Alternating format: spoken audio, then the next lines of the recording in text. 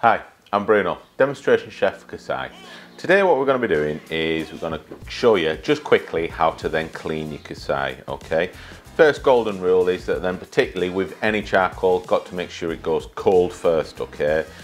We quite like to use a charcoal hoover that then particularly can then also as well just go in. Absolutely great little devices that you can get. If you haven't got one of them you can then just tip it as well from there okay? Obviously gloves don't want to absolutely get yourself clean. Um, dirty with your charcoal shall we say from there but literally from there.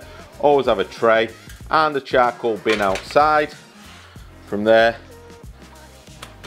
You can just clean it all off nicely with then your plate okay? Don't forget you can then also as well put your plate through the dishwasher if you wanted to and then away you go.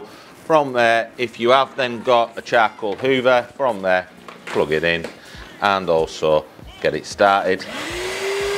Any then charcoal that's around just finished just at the bottom obviously got to be cold but with your charcoal hoover it's metal anyhow.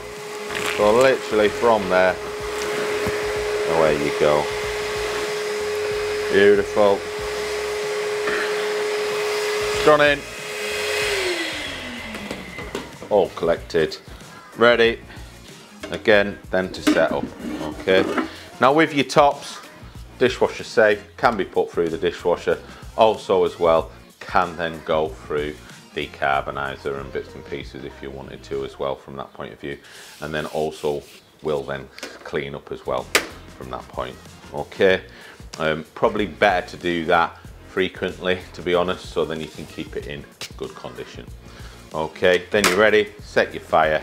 Away you go. If you then start to get a bit dirty around the sides as well you can then also give that away. But then also as well you can then give them a good scrub, little metal scourer just around the sides. Living dream, happy days, ready to go.